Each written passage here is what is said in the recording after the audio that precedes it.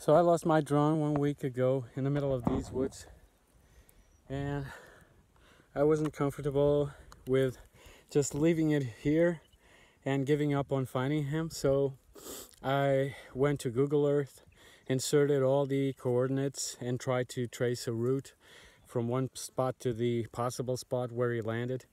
It would be like uh, a huge area and this is a, as you can see, it's a pretty dense.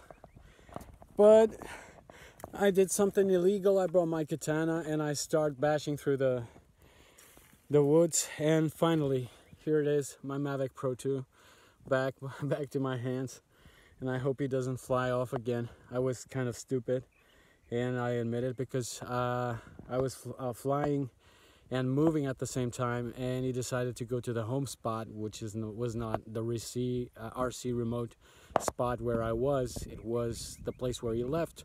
So suddenly he starts to try to go there and I panicked. I tried to make him come back to me but he wouldn't.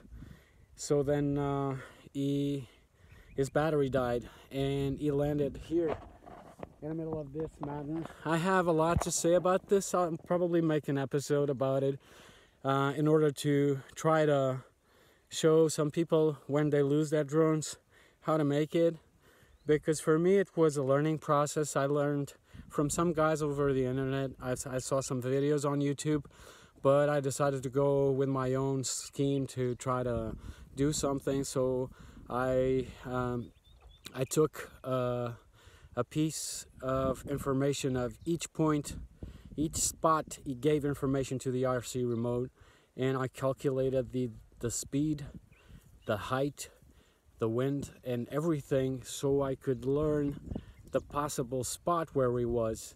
Now I can show you that this was still a huge area and if your drone flies off to a place like this it's gonna be an incredible task.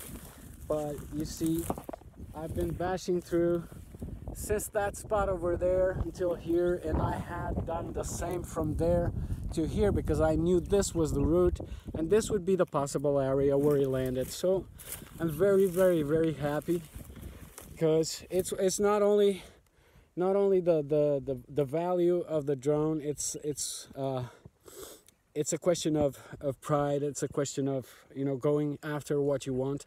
And there's no luck in things. It's just commitment to what you do. So if you want to do something, you have to do it till the end with your maximum effort.